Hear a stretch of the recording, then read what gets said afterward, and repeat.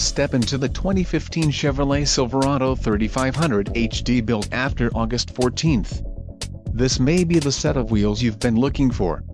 Some of the top features included with this vehicle are differential, heavy-duty locking rear, air cleaner, high-capacity, four-wheel drive, cooling, external engine oil cooler, cooling, auxiliary external transmission oil cooler, alternator, 150 amps, body, chassis cab, frame, fully boxed, hydroform front section, steering, recirculating ball and exhaust, aluminized stainless steel muffler and tailpipe. This vehicle shows low mileage and has a smooth ride. Don't let this vehicle get away, call or click to schedule a test drive today.